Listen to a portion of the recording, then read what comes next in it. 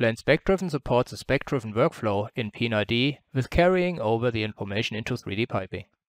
Plant SpecDriven incorporates many features which cannot be shown in the context of this introduction video. Let's start with drawing a new line. After connecting with the equipment, flange symbols can be inserted. After entering the pipeline information like pipe spec and size, Plant SpecDriven is already selecting the correct flanges. When we insert ball and check valves, Plant will search for suitable elements with a given pipe spec and size. In our case, they are flanged. Therefore, Plant can insert flange symbols as well, and again with the pipe spec information. If we insert a general valve symbol, Plant shows us what is available in the pipe spec and then also substitutes with the correct symbol. In the Plant tree, we see what has already been inserted in the line. SpecDriven can also insert fasteners like gaskets, which can be shown or hidden. Part of Plant SpecDriven is the so-called attribute flow, where arbitrary properties of one pipeline segment can be propagated to the other segments within the pipeline group.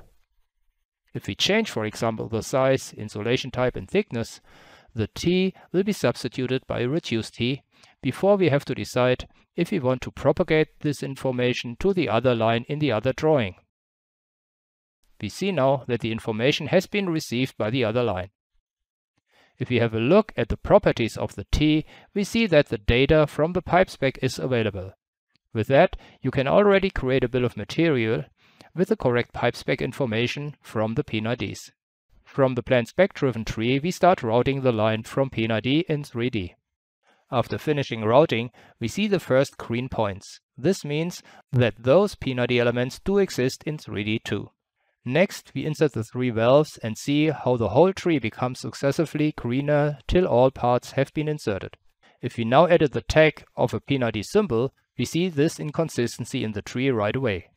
We can review the details and can copy the value into 3D. Now we see the change tag in 3D as well.